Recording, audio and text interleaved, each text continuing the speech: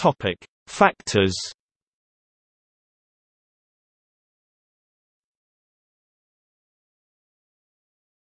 Topic: Base.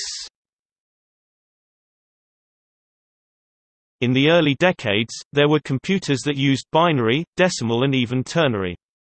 Contemporary computers are almost exclusively binary. Topic: Bits. Computer architectures are often described as n-bit architectures. Today n is often 8, 16, 32, or 64, but other sizes have been used. This is actually a strong simplification. A computer architecture often has a few more or less natural data sizes in the instruction set, but the hardware implementation of these may be very different. Many architectures have instructions operating on half and or twice the size of respective processes' major internal data paths. Examples of this are the 8080, Z80, MC68000 as well as many others. On this type of implementations, a twice as wide operation typically also takes around twice as many clock cycles which is not the case on high-performance implementations. On the 68000, for instance, this means 8 instead of 4 clock ticks, and this particular chip may be described as a 32-bit architecture with a 16-bit implementation. The external databus width is often not useful to determine the width of the architecture. The NS32008, NS32016 and NS32032 were basically the same 32-bit chip with different external databuses. The NS32764 had a 64-bit bus, but used 32-bit registers. The width of addresses may or may not be different from the width of data. Early 32-bit microprocessors often had a 24-bit address, as did the System 360 processors.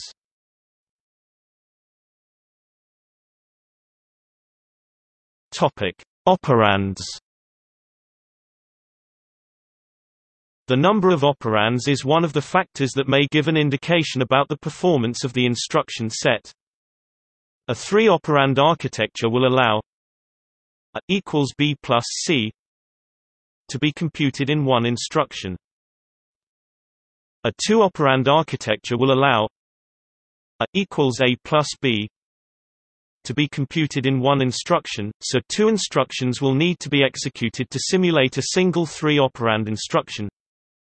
A equals b a equals a plus c equals Topic: Endianness equals An architecture may use big or little endianness, or both, or be configurable to use either. Little endian processes order bytes in memory with the least significant byte of a multi-byte value in the lowest numbered memory location. Big endian architectures instead order them with the most significant byte at the lowest numbered address. The x86 architecture as well as several 8-bit architectures are little endian. Most RISC architectures SPARC, Power, PowerPC, MIPS were originally big endian ARM was little endian, but many including ARM are now configurable. Endianness only applies to processes that allow individual addressing of units of data such as bytes that are smaller than the basic addressable machine word.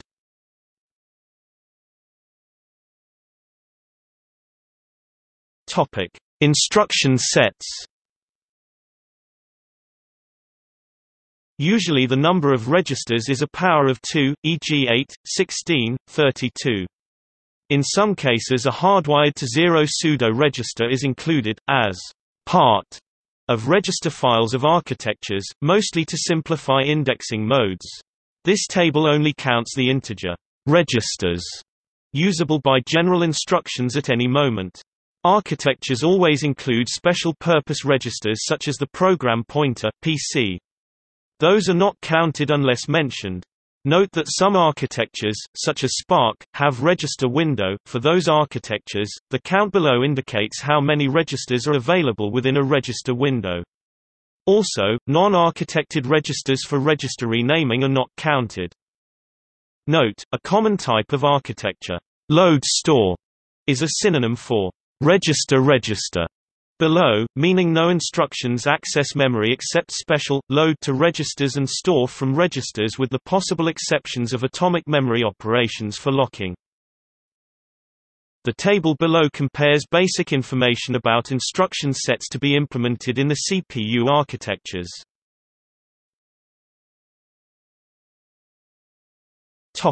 See also